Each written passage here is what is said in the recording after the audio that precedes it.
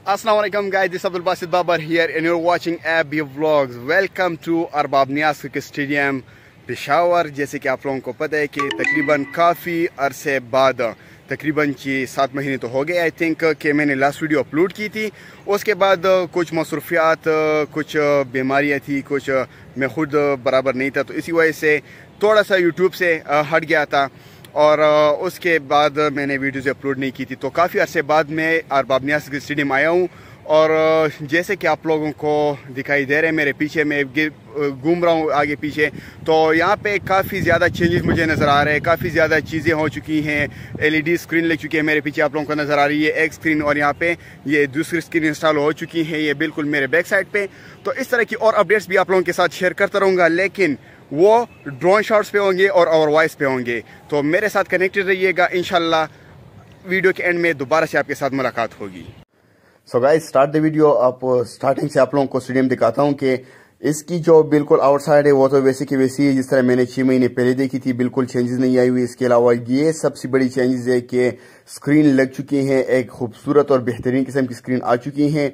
ये दूसरी साइड है जो कि बिल्कुल शाहबाग साइड या जिमखाना साइड जो आप कह सकते हो, वो वाली साइड है। यहाँ पर वो लग चुकी है स्क्रीन लग चुकी है। और द सेकेंड इसकी जो विकेट्स है पिच जो है वो अभी तक उसी कंडीशन में है जो मतलब आ, शायद आ, पानी नहीं दी गया या इसके अलावा यहाँ पर शायद काफ़ी ज़्यादा काम इस पर बाकी हो।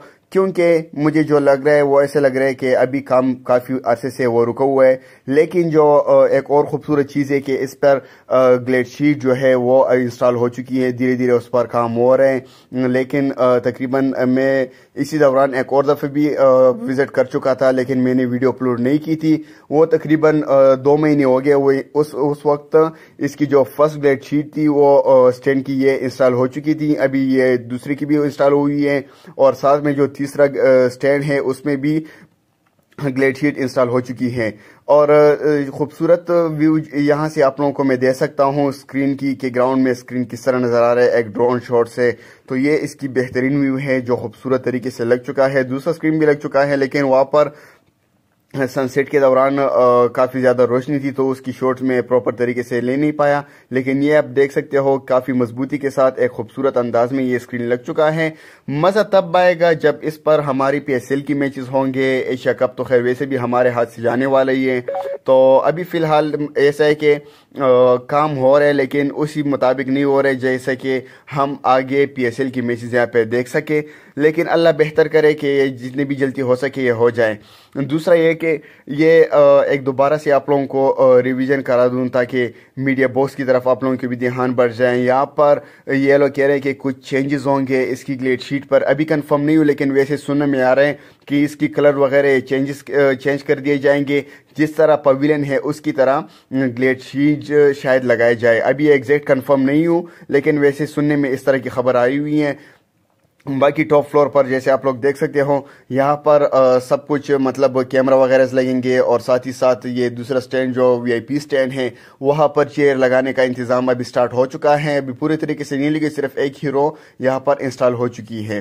द नेक्स्ट व्यू जैसे आप लोगों को देख सकते हो कि पवेलियन के अंदर खैर वे तो मैंने रिकॉर्ड नहीं किया वो सिचौड़ी देते अभी वापस आके विकेट्स पर बात करते हैं कि विकेट्स का जो काम है अभी फ़िलहाल मेरे आ, जो अंदाजे के मुताबिक वो अभी तक अधूरा है। लेकिन खैर, ये इतना बड़ा मसला नहीं है, क्योंकि अगर ये पेशावर के स्टेडियम को शेड्यूल दिया जाए मैचेस तो ये तकरीबन बीस बाईस दिन में ये बिल्कुल बेहतरीन विकेट्स रेडी हो सकते हैं। विकेट्स बनाने में इतना ज़्यादा टाइम नहीं लगता।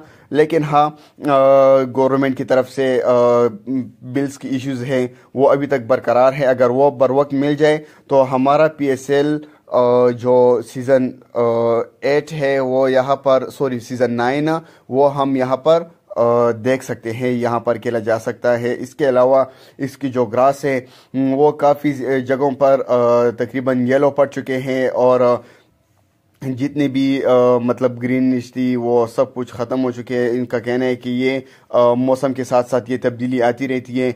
लेकिन मज़ा तब आएगा जब हम इस ग्रास को बिल्कुल इसी तरह ग्रीन देखें जैसे कि ये पिच के कॉर्नर्स पे आप लोगों को नज़र आ रहे हैं तब ये असल मज़ा आएगा। लेकिन अभी तक जितनी भी ग्रासेस हैं ये मुकम्मल तौर पर सूख चुके हैं बिल्कुल येलो कलर इसका आ चुका है। इसकी सबसे बड़ी वजह कि ये भी हो सकती है पानी का ना मिलना, या ये भी हो सकता है कि ये फ़र्स्ट टाइम इस तरह येलो हो जाते हैं, उसके बाद दोबारा से ग्रीन हो जाते हैं। लेकिन ये तो वक्त के साथ ही पता चलेगा, अभी जो मतलब फ़र्स्ट जो मेरा इंप्रेशन है जिससे जैसे मैंने देखा ग्राउंड को तो यकीन माने मुझे बिल्कुल भी मज़ा नहीं आया इस ग्रास का।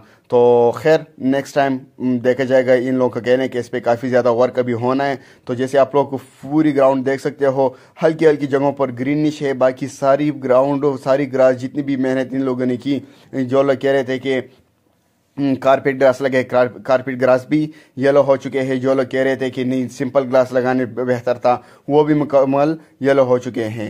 टेंसाइल मेम्ब्रेन की बात अगर हम कर रहे हैं तो वहाँ पर बिल्कुल जो नया स्क्रीन लग चुका है बायर फ़ूड साइड वो अभी तक उसकी टेंसाइल मेम्ब्रेन तकरीबन छः सात टेंसाइल मेम्ब्रेन अभी तक नहीं लग चुके हैं, जो शाहीबाग वाला साइड है स्क्रीन के लिए जिन लोगों ने मुख्त किया था, वो भी अभी तक उसी तरह के ही पड़े हुए हैं। ये नीचे आप लोग येलो चेयर्स देख सकते हो येलो चेयर्स और नीचे जो चेयर्स हैं, वो अभी तक इंस्टॉल नहीं हुए। उसकी सबसे बड़ी वजह यह भी हो सकती है कि यहाँ पर ब्लैक स्क्रीन लगाया जाएगा, क्योंकि एक साइड पे तो चलो मीडिया बॉक्स आ गया मीडिया बॉक्स के आगे आप लोगों ने ब्लैक पर्दा लगा दिया तो वहाँ पर बॉल नज़र आ रही है बैट्समैन को। लेकिन अगर आप पवेलियन एंड से बॉलिंग करें तो आपको बैक साइड पर भी एक सॉरी अगर आप दूसरी साइड से बॉलिंग करें तो आपको दूसरी साइड पर भी बैट्समैन के लिए एक प्रॉपर सेटिंग करनी पड़ती है, ताकि उसको बॉल प्रॉपर से नज़र आ जाए। तो इन इस पर्दे की वजह से ये प्रिपेयरिंग होनी चाहिए थी, लेकिन वो नहीं हो सका। तो इसकी वजह शायद इनकी जो कैपेसिटी है, उस पर भी इफ़ेक्ट पड़ सके।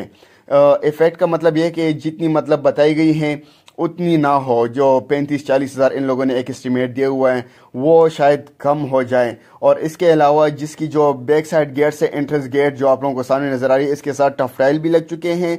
और इसी तरह की जिस तरह ये ग्रीन गेट इन लोगों ने रेडी किया हुआ है, इस तरह के पाँच और गेट तैयार किए जाएँगे। एक शहबाग साइड ये जो मेन एंट्रेंस है, दूसरा जो जमखाना क्रिकेट साइड है ग्राउंड साइड तीसरा फुडेन साइड चौथा, इस तरह के पाँच इन लोगों ने बराबर किए हुए। अभी एग्जैक्ट पता नहीं कि कौन सा एक मिस हो रहा है। टोटल छह गेट्स हैं तो एक उसमें मिस होगा, पाँच के पाँच इस तरह के बिल्कुल रेडी होंगे। ये आप लोग देख सकते हैं, ऊपर से इस पर काम मुकम्मल फिनिश हो चुका है। सिर्फ़ चेयर लगाने का काम बाकी है। इंशाल्लाह वो भी जल्द से जल्द कंप्लीट हो जाएगा। तो जनाब, ये थी हमारी आज की वीडियो इनशाला कोशिश करता हूँ कि अपनी वीडियोस को बरकरार रखूँ। एक सिलसिला जो पहले आप लोगों को जिस तरह अपडेट्स देता रहा, उस तरह के दोबारा से अपडेट्स देता रहूँ। तो इनशाला ये हमारी कोशिश होगी। लेकिन जो अल्लाह को मंजूर होगा वही होगा इन बाकी आ, मुझे इजाज़त दीजिएगा अपने दुआ में याद कर लीजिएगा। अल्लाह हाफिज़। Thank you so much